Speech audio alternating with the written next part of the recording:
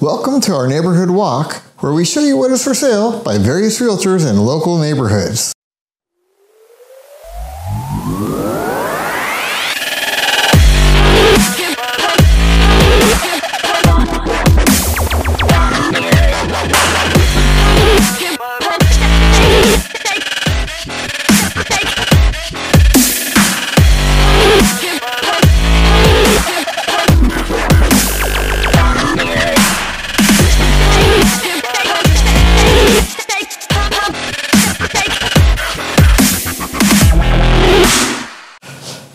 Today we're in the college area of Modesto between Virginia and Tully Road and between Roseburg Avenue and Coldwell.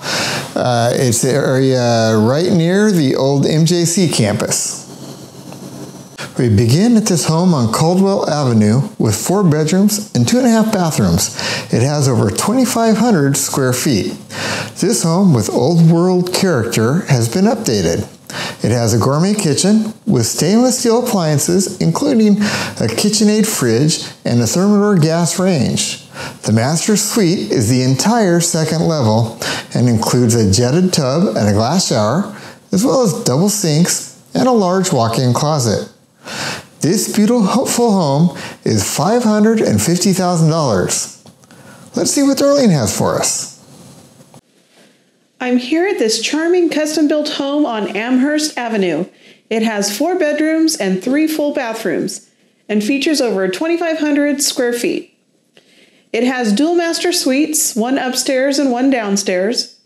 It has a 19 by 19 foot Trex deck, as well as a variety of fruit trees in the backyard.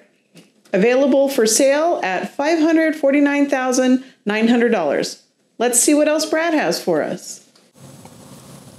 There's a link in the description to all of the properties actively for sale in this area, including photos as well as additional information, such as a walk score, schools, and a map.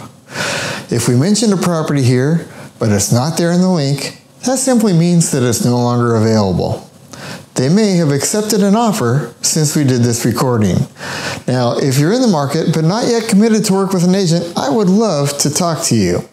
I am an accredited buyer's agent and would love the chance to earn your business. If you're thinking of selling, we can handle that too and would love the opportunity to interview for that job.